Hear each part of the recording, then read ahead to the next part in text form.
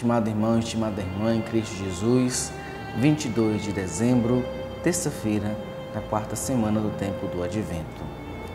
Bem-vindo, bem-vinda ao programa Pão da Palavra, o seu programa diário de espiritualidade.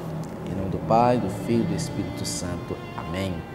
A graça e a paz da paz de Deus, nosso Pai, Jesus, seu Filho, nosso irmão, esteja sempre convosco.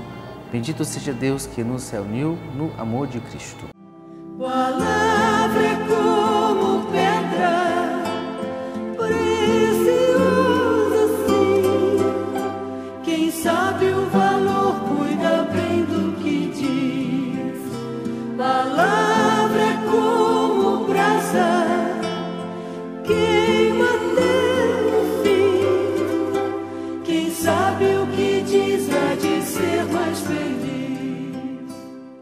Evangelho do dia, Evangelho de Lucas, capítulo 1, versículos 46 a 56.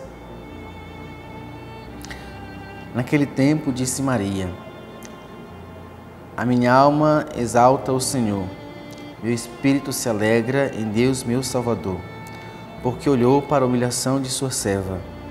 Eis que de agora em diante todas as gerações me considerarão feliz, pois o Todo-Poderoso fez grandes coisas com o meu sim. Seu nome é santo e sua misericórdia perdura de geração em geração para aqueles que o temem. Ele agiu com a força do seu braço, dispersou os arrogantes de coração, derrubou dos tronos os poderosos e exaltou os humildes. Encheu de bens os famintos e despediu os ricos sem nada.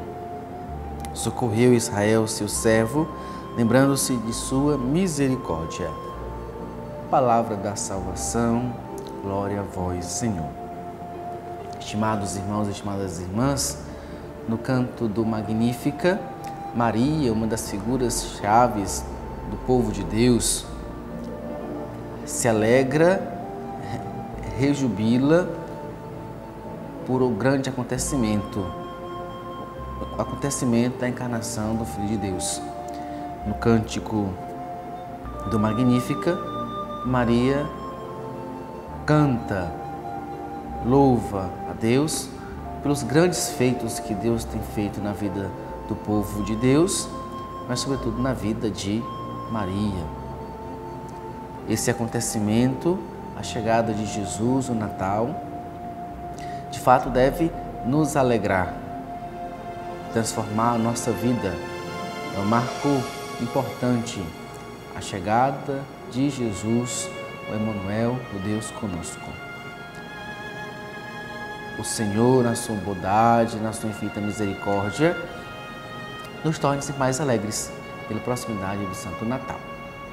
O Senhor te abençoe. Em nome do Pai, do Filho e do Espírito Santo. Amém.